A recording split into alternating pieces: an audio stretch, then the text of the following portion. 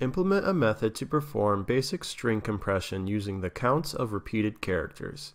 For example, the string AABCCCCAAA would become A2, B1, C5, A3 if the compressed string would not become smaller than the original string, your method should return the original string. So essentially we take in a string and return the character alongside the count of the character next to the character. Here's our compress method that takes in a string and returns a string.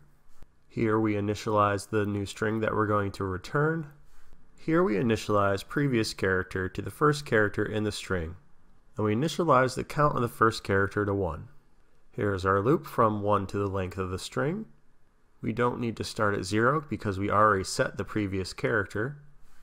As we go through the loop, if our current character is equal to our previous character, then we increment the count of that character by 1. Otherwise, if the current character is not equal to the previous character, then we must add that character and that character's count to the new string. Then we set the new previous character to the new character at the current index that did not match the previous character. Then we reset the count for our current character back to 1. We loop through until all the characters but the final character and their associated counts are in the string. After the loop is ended, we add the final character and its associated count to the new string.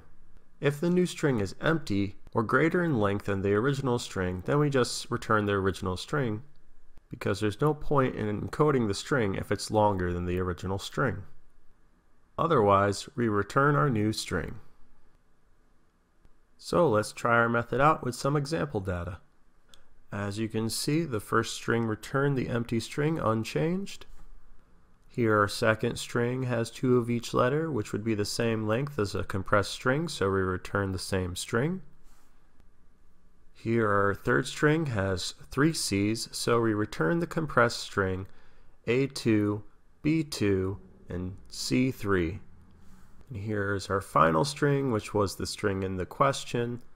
Two A's, one B, five C's, and three A's.